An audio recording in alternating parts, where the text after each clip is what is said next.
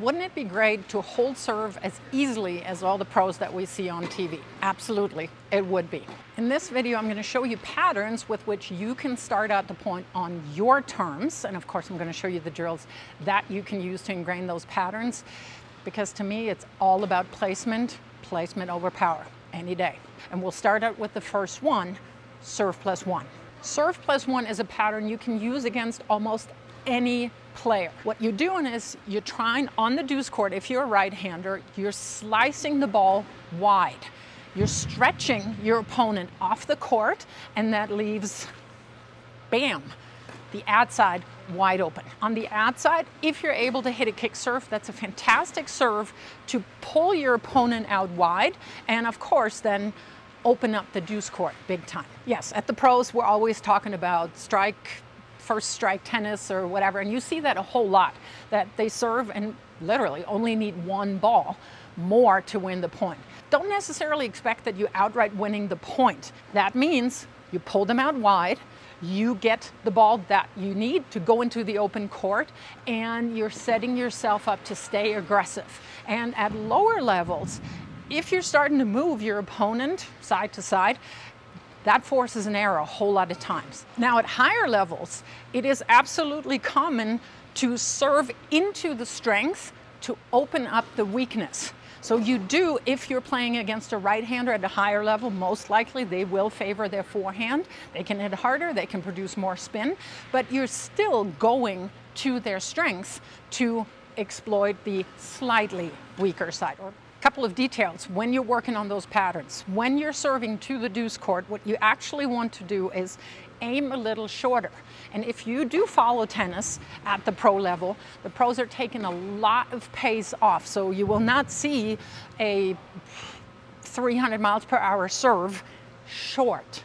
You will see a lot more of a spinny serve, slice, and a slower serve. And that allows the players to really achieve angles that have the ball bounce in, cut the single sideline, cut the double sideline before it actually passes the baseline. And that is a really great serve. What do I do with the next ball? Well, I'm gonna hit it into the open court. Again, let's say I'm serving from the deuce court, I'm going wide. Hopefully my opponent is somewhere in the fence over there.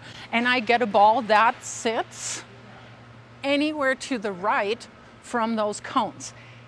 If I am a more advanced player, you're probably going to start looking for your forehand there. However, here's a caveat to that. You don't necessarily have to force yourself to hit a forehand because it's an inside out forehand. You have to move fairly quickly to get around the ball and make space for that ball. So if you're a little newer to tennis and you're not quite into that, oh, I'm looking for my forehand pattern yet, then this is perfectly fine.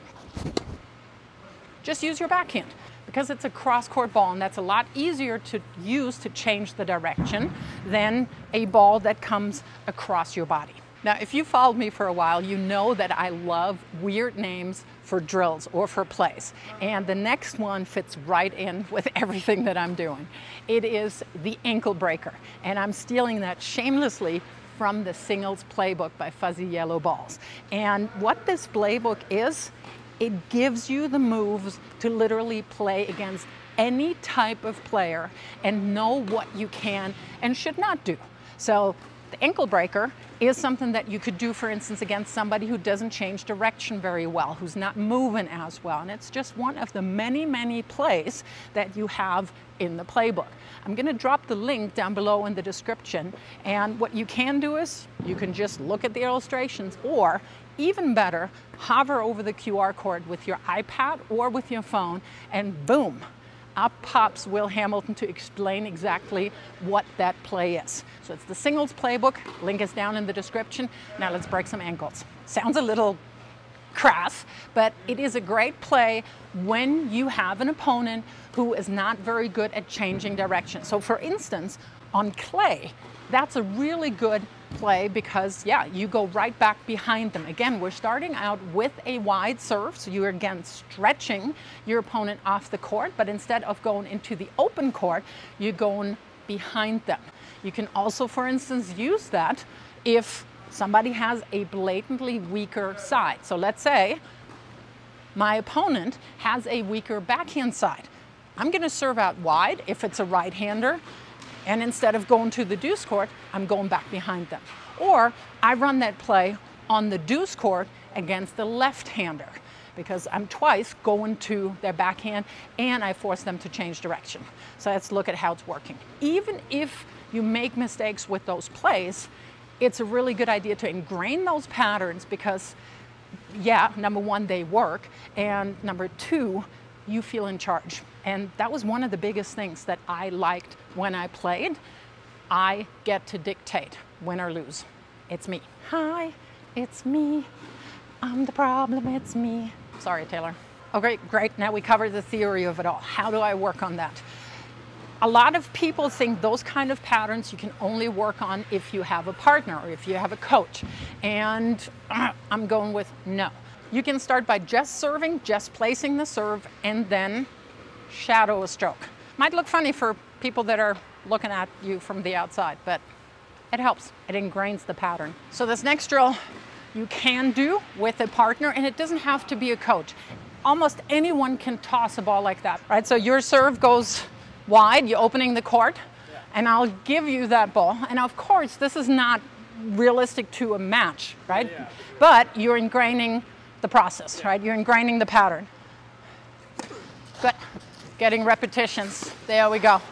So that your brain basically recognizes that in a match. Ooh, I have a short ball. I pulled them out wide. I'm attacking, going the open court. Okay, get around it. There we go. All right, the next one is you can have somebody just feed the return. If you're a really good server and you're just not getting enough returns when somebody's trying to return the ball, just ask them to feed the ball back. Ingrain the patterns.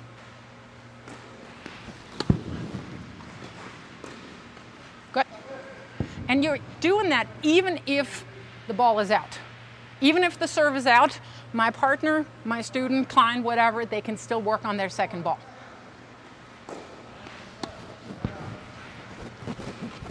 There we go.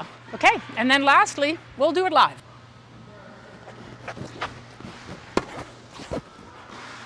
There we go, perfect.